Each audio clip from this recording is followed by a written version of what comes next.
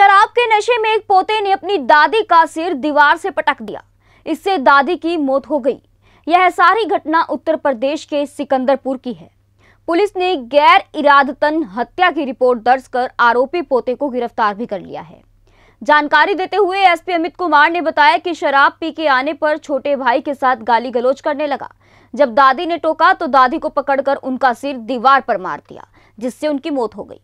इसी के साथ बेनीगंज क्षेत्र में हो रहे चोरियों का भी एसपी अमित कुमार ने खुलासा किया है। एसपी हरदोई अमित कुमार ने बताया कि सिकंदरपुर निवासी पचासी वर्षीय सावित्री देवी पौत्र वीरपाल के साथ रहती थी।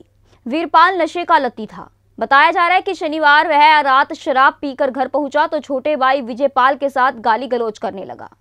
वीरपाल से बचने के लिए विजयपाल दादी सावित्री के पास भागा तो सावित्री ने वीरपाल को रोकने की कोशिश की।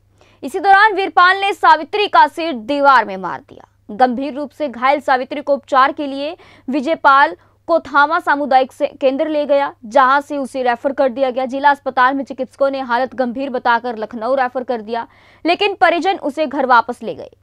घर पर सावित्री की मौत हो गई। पुलिस ने विजयपाल की तहरीर पर वीरपाल के विरुद्ध रिपोर्ट दर्ज की है। हरदोई से संवाददाता शाहिद अली की रिपोर्ट। किसकी हत्या हुई थी? और किस वजह से हत्या की गई थाना बेनीगंज के गाँव सिकंदरपुर में बीरबल नाम के व्यक्ति ने अपने ही दादी श्रीमती सावित्री देवी की हत्या कर दी थी। दिनांक एक अगस्त में और इसका खुलासा आज किया गया है जिसमें उनके ही दूसरे भाई द्वारा विजयपाल द्वारा इस मामले में मुकदमा दर्ज कराया गया था। आज इसका खुलासा करके अभियुक्त गिरफ़्तार करके जेल भेजा जा रहा है। किस कारण से हत्या की गई हत्या के कारणों का स्पष्ट कारण पता नहीं चला है उसको जाँच जारी है सर क्या खुलासा?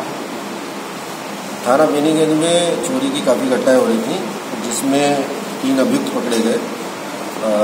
जिनके पास से चोरी के घरों में जो चोरी करते थे नगद जनी डालते थे और इनके पास से घरों में चोरी करने का जो भी सामान है टीवी सोलर पैनल साथ ही set off box ceiling fan इत्यादि इन्वर्टर भी है।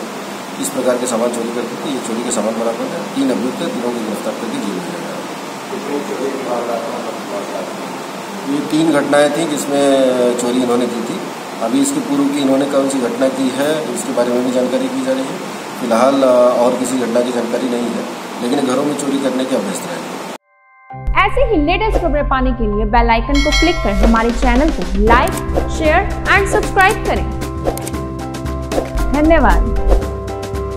JBD Banquets lie हैं। Incredible marriage palace Rajgharana and the finest banquet hall Jyoti Garden. World-class catering, centrally air-conditioned, lush green lawns, state-of-the-art lighting. A perfect venue for wedding, launching and parties. Rajgharana and Jyoti Garden at JBD Banquets Enterprise.